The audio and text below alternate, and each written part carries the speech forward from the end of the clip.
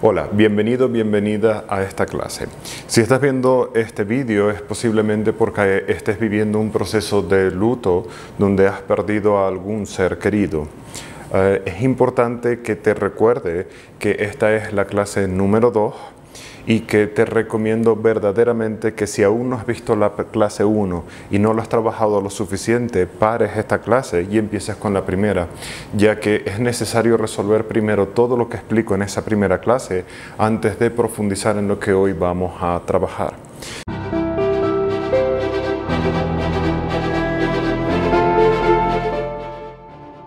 Eh, esta primera clase no es suficiente con verla una sola vez, necesitas verla y trabajarla durante cierto tiempo.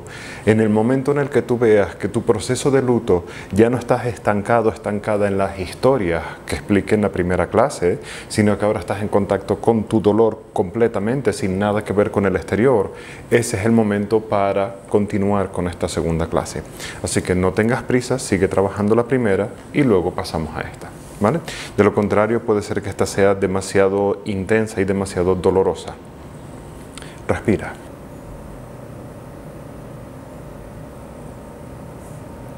Una vez que hemos trabajado el principal dolor que causa la pérdida de un ser querido, como hicimos en esa clase previa, ahora tenemos que ir profundizando para encontrar el origen de todo este dolor en nosotros, en nuestro interior. Y pues esto requiere un cierto trabajo de honestidad con nosotros mismos para aceptar lo que vamos a ir encontrando. ¿Qué es, lo que, qué es una de las cosas que suceden cuando perdemos a un ser querido? Obviamente hay una parte del dolor que es verdaderamente alguien a quien amábamos, a quien queríamos, pues ya no está, ya no, no está ahí y ese dolor es totalmente cierto, más el dolor de la preocupación de cómo vivió la persona su fallecimiento, etcétera, etcétera. Pero ahora tenemos que ir más allá. Y este ir más allá quiere decir, ¿qué implica esto para mí? Cuando perdemos a alguien, hay un componente egoísta de nuestro dolor. Y este componente egoísta es la parte de nosotros que siente, ya no voy a tener un abrazo. Si era tu pareja, ya no voy a tener sexo. Ya no voy a tener con quién hablar. Ya no voy a tener con quien me apoye. Así que hay una parte del dolor que, como te digo, es totalmente real por la pérdida de ese ser querido. La otra parte no es que no sea real, pero nace de lo que nosotros dejamos de obtener, de conseguir, de acumular, de lograr por haber perdido, porque esta persona haya fallecido o se haya ido de tu vida, cuando el luto es por separación y no por fallecimiento. Esta es la parte, pues digamos, más difícil y que más nos mantiene estancados en el dolor del luto. Quiero aquí que comprendas que aunque es egoísta desde, eh, desde el punto de vista del análisis, no debemos mirarlo como, pero qué mala persona soy, como lo único que me interesaba era el apoyo que me daba o el cariño o el sexo. No, no es lo único, no es cierto. Si querías a la persona, ese amor era totalmente cierto, totalmente honesto. Respira.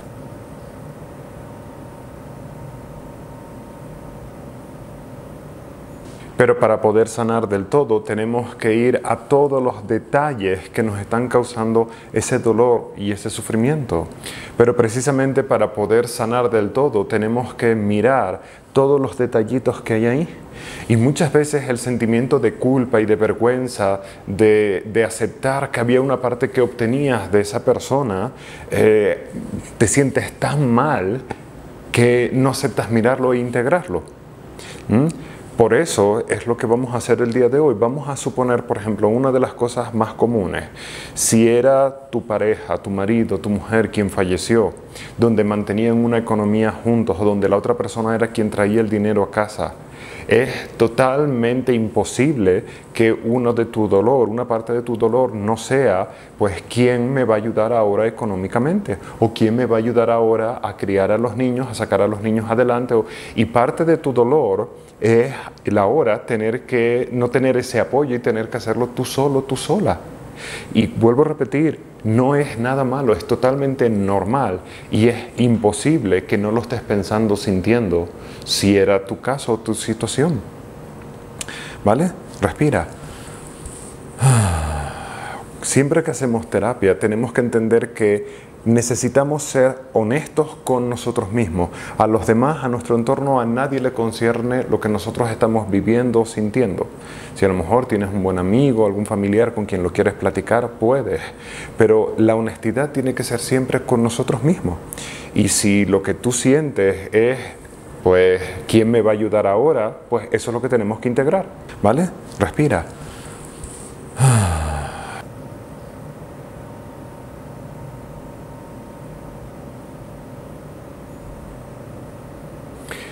Igualmente, derivado de esto, es muy común que algunas personas se enfaden con la persona que, ha fallecido. Y ahí de nuevo entramos en un conflicto porque tu mente dice no tiene ningún sentido estar enfadado, enfadada con la persona que, falleció por haber fallecido, porque no es que la persona eligiese eh, morirse como tal.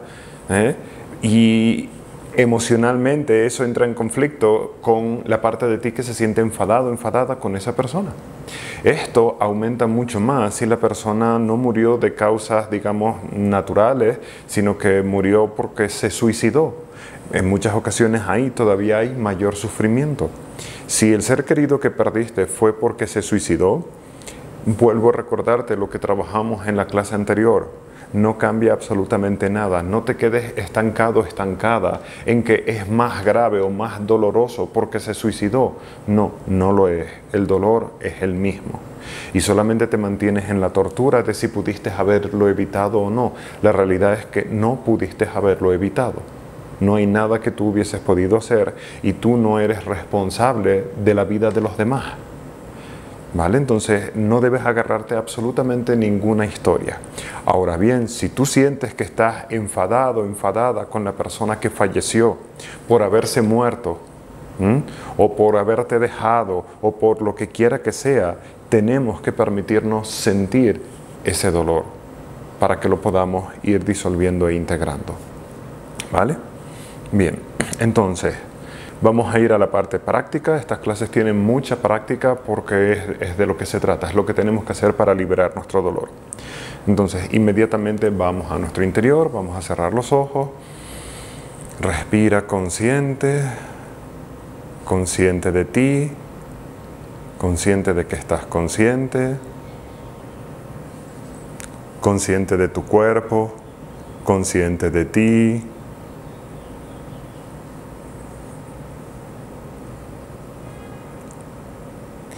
Piensa en la persona que perdiste.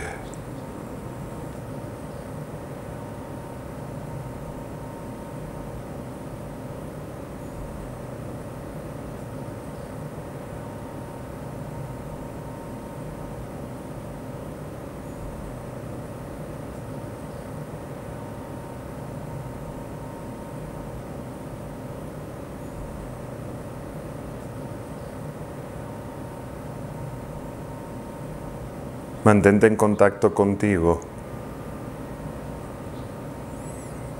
y hazte la pregunta, ¿qué obtenía yo de esta persona?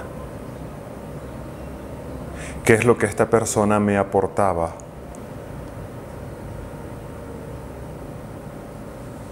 Quizás era el apoyo, la validación, quizás sentías que era la única persona que te entendía y te apoyaba.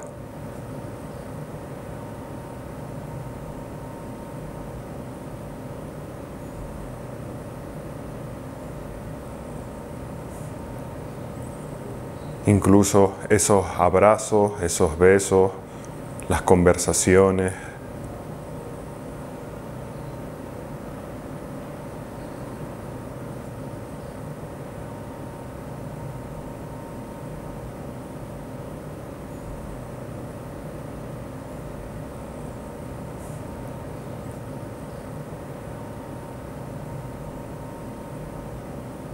Si esa persona te hacía sentir especial,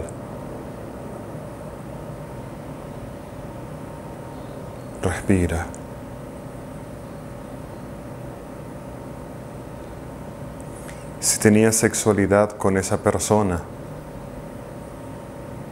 el contacto cuerpo a cuerpo, los orgasmos,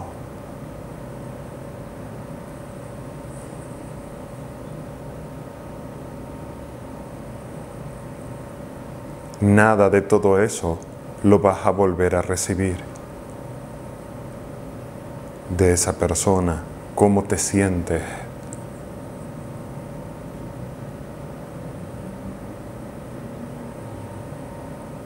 Hay una parte de ti que no quiere terminar de vivir el luto, terminar de soltar a la persona que se fue, porque eso significaría perder todo eso que obtenía. Es demasiado tarde, ya lo perdiste.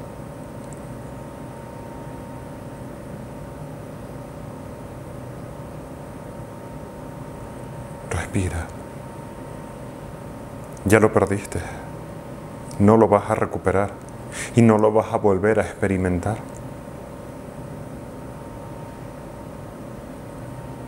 Siente ese dolor.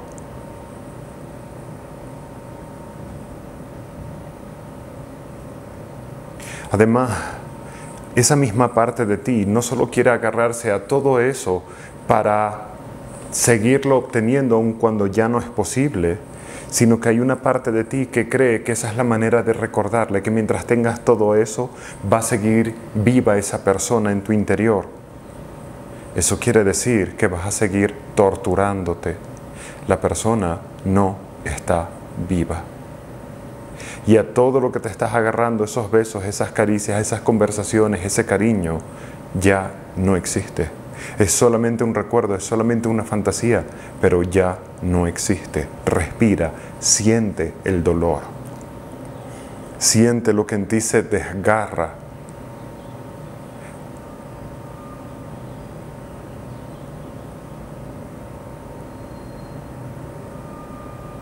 No te estás agarrando a esa persona, te estás agarrando al dolor. Respira y toma conciencia de verdaderamente cuánto te estás agarrando y resistiendo a todas esas experiencias que vivieron juntos, a todo eso que obtenías, acumulabas o lograbas con esa persona. Si vivían juntos y tenían hijos, ¿quién te va a ayudar ahora a cuidar de tus hijos, a sacar adelante a la familia o ayudarte económicamente? Respira.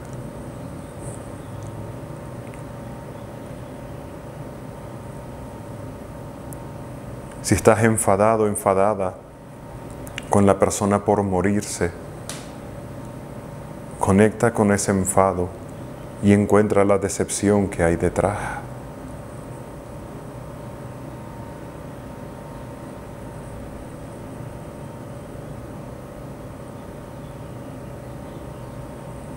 Respira, permanece consciente de todo ese dolor, de todo ese malestar.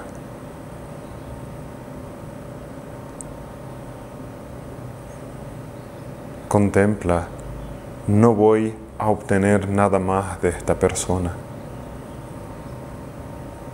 Y agarrarme a todo lo demás es solamente mantenerme sufriendo.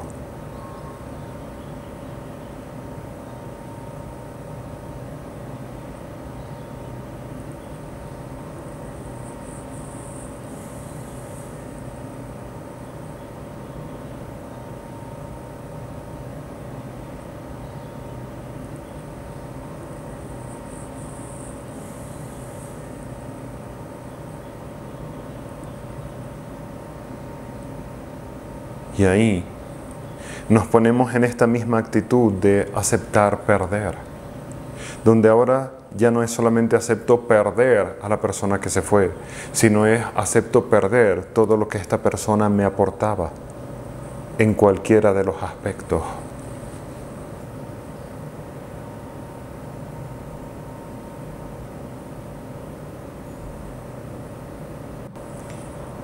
Contempla lo que has identificado que obtenías de esa persona, de esa relación.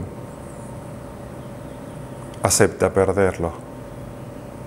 Acepta perder esa protección, esa seguridad, esa calma, esa alegría que esa persona te daba, ese cariño, esos besos, esos abrazos, esa sexualidad si la había, el dinero, el apoyo, lo que quiera que sea, me rindo, acepto perderte, acepto perder todo lo que me aportaba físicamente, mentalmente, emocionalmente, acepto perder todo.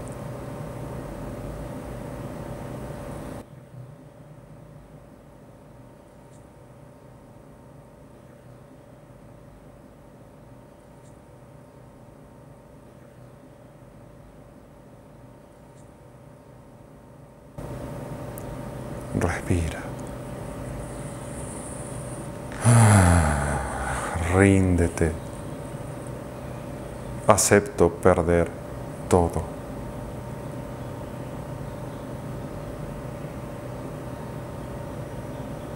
Me rindo.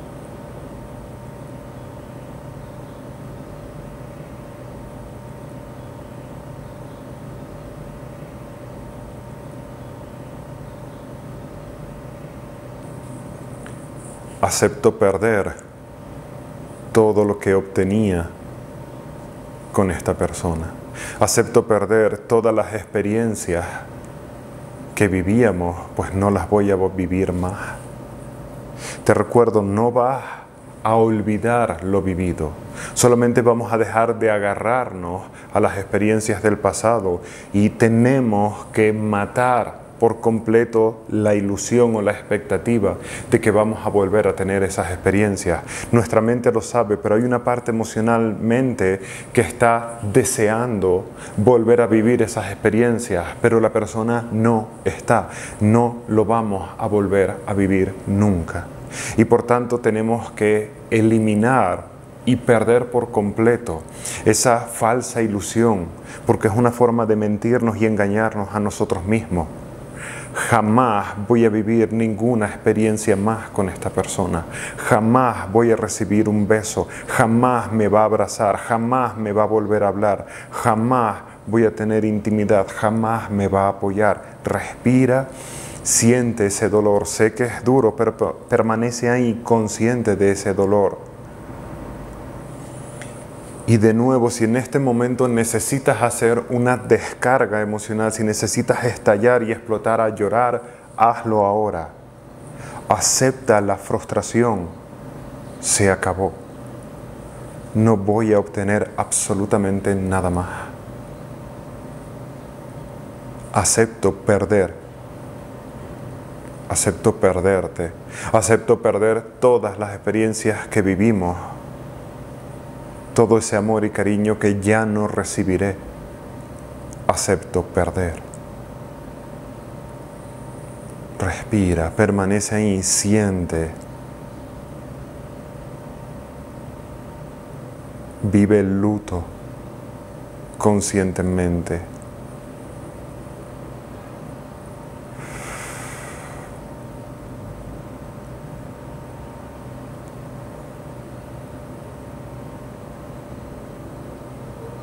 Acepto perderte,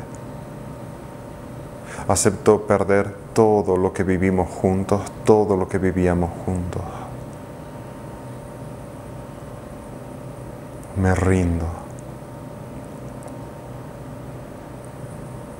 Esta persona seguirá teniendo un lugar en tu mente, en tu recuerdo, pero queremos que sea un recuerdo limpio, puro, bonito, con cero sufrimiento, con cero dolor. Acepto perderte. Acepto perder todo lo que me dabas y todo lo que obtenía de ti.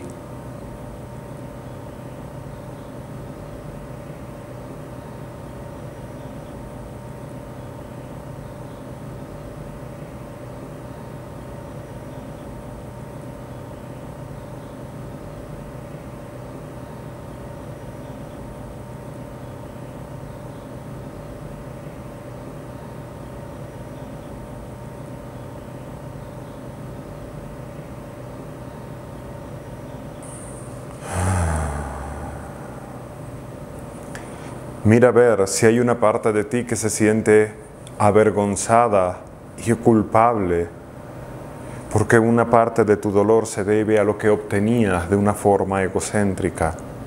Si es así, permítete sentarte ahora en esa vergüenza, en esa culpa, en la parte de ti que siente, se siente culpable por seguir queriendo obtener lo que ya no puedes obtener. A veces por eso es tu enfado con la persona que falleció, porque ya no vas a obtener esa caricia, ese amor, ese cariño, esa protección, esa seguridad o ese dinero. Identifica si eso es así y siéntate en esa culpa y permítete sentirte culpable. No vamos a tratar de justificar nada. Sentirnos culpables no quiere decir que esté mal pero es una emoción que a veces sentimos y solamente se sana sintiendo. Así que permítete sentirte culpable.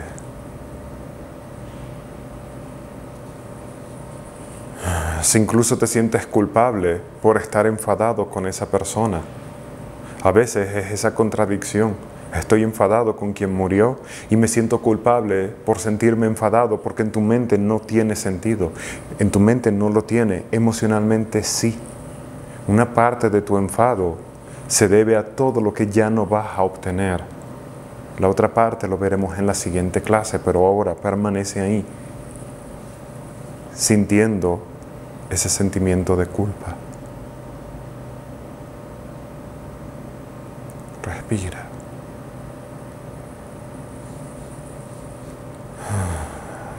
Eso es.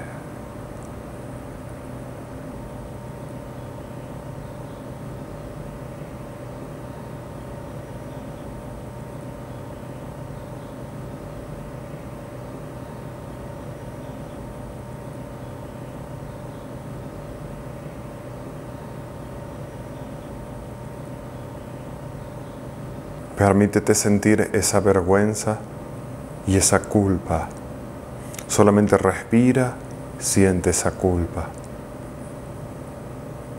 Si no sientes culpa, si no es tu caso, continúa respirando y sintiendo el dolor de la pérdida, continúa en ese luto.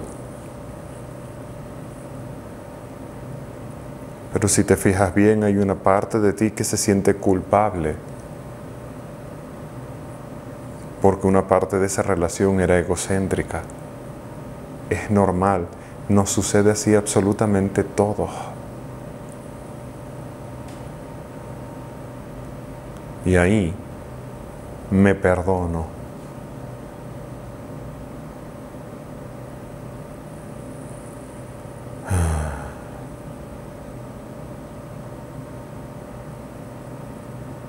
Me perdono.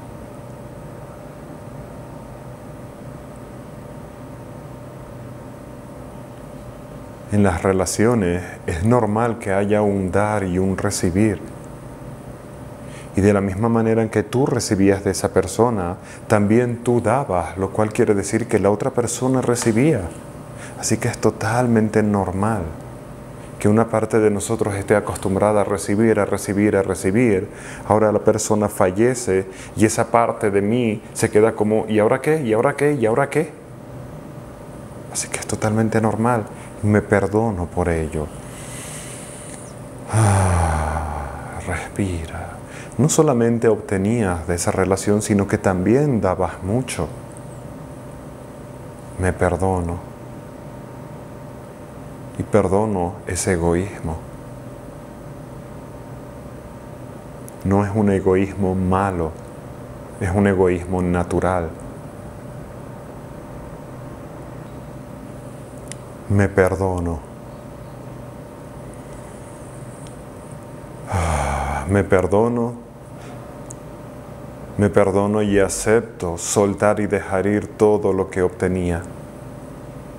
Acepto perderte. Acepto perder todo lo que obtenía de ti mentalmente, emocionalmente, físicamente. Me perdono. Te perdono.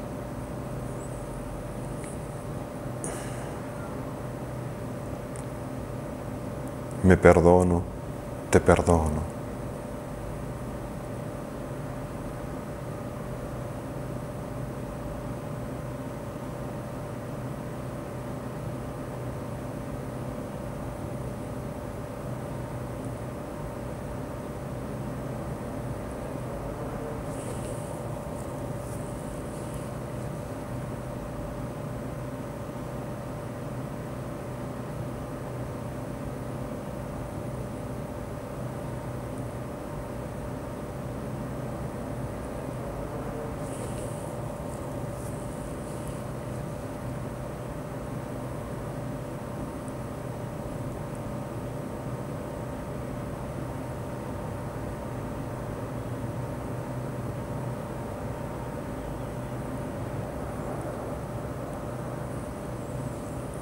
Respira profundo y con la exhalación, ah, me rindo, me perdono, te perdono.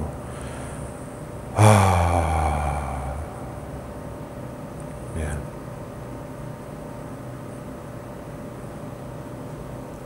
Respira profundo, regresen aquí despacito. Vamos a hacer una respiración vocal. Ah. De nuevo otra. Ah. Muy bien. Durante esta integración que acabamos de realizar, has ido identificando diferentes aspectos que obtenías de una forma o de otra. Precisamente ahora lo que te toca es realizar este ejercicio, esta integración con cada uno de esos aspectos. Hoy me doy cuenta que echo de menos pues los abrazos, ok, me, me, siento, acepto perder los abrazos que ya no voy a recibir. Hoy me doy cuenta que echo de menos el apoyo porque siempre me sentía respaldado, ok, hoy me siento a perder ese apoyo. Eh, hoy me veo en una dificultad económica porque ya no tengo tu apoyo económico. Ok, eso es lo que hoy me siento a perder. Y así sucesivamente. Así que igual que la clase pasada, pues te toca ahora realizar este ejercicio las veces que sean necesarias hasta que aceptes perder absolutamente todo lo que recibías de esa persona. También una de las cosas que te va a empezar a suceder es que vas a empezar a vivir experiencias que antes vivías con esa persona. Qué sé yo, si siempre ibas a un parque, pues ahora cuando vayas a ese parque, ¡pum!, vas a recordar, ah, siempre venía aquí con la persona que ahora ya no está. Entonces eso de nuevo es lo que tienes que perder, es algo que obtenías, ese ratito de diversión con la persona en el parque o en el cine o en el restaurante favorito. Un error común que cometen las personas es que ahora tratan de evitar no ir a los lugares donde iban con esas personas para que no se los recuerde, para que no vuelvan a sufrir. Obviamente si acabas de, si la pérdida es muy reciente, eso lo entiendo durante pues cierto tiempo, a lo mejor un par de meses, pero luego no es sano porque vas a tener que cambiar tu estilo de vida por completo y vas a vivir con el miedo de que algo te recuerde a la persona que falleció. Eso querría decir que no lo estás superando del todo. Entonces, ¿cómo superamos esa parte? Bueno, pues lo, vas al parque y se te despierta eso. Cuando llegas a casa, te sientas, recuerdas las experiencias que vivías en ese parque con esa persona y aceptas perderlas. O vas a un restaurante donde solías ir, o la siguiente celebración de Navidad, la siguiente boda, bautizo, aniversario, lo que quiera que sea, te sientas y aceptas perder. Así que hay una parte de todo esto que tenemos ahora que perder, que lo puedes hacer ahora pensando con pura lógica. Pero habrán otras cosas que simplemente lo vas a ir descubriendo según tu vida continúe, según empiezas a darte cuenta de, ah, le echo de menos aquí o echo de menos esto, ok, eso es lo que ahora me siento y me toca perder. ¿Vale? Bien. En la siguiente clase vamos a trabajar dos aspectos más de los lutos y es el sentimiento de culpa porque alguien falleció y el sentimiento de soledad por haberle perdido. Igualmente te recomiendo que trabajes esta clase varias veces antes de pasar a la siguiente. Cada clase el objetivo es ir profundizando más, más y más. Y lo ideal es que hayas limpiado los niveles anteriores antes de seguir avanzando. Así que nos vemos en la siguiente.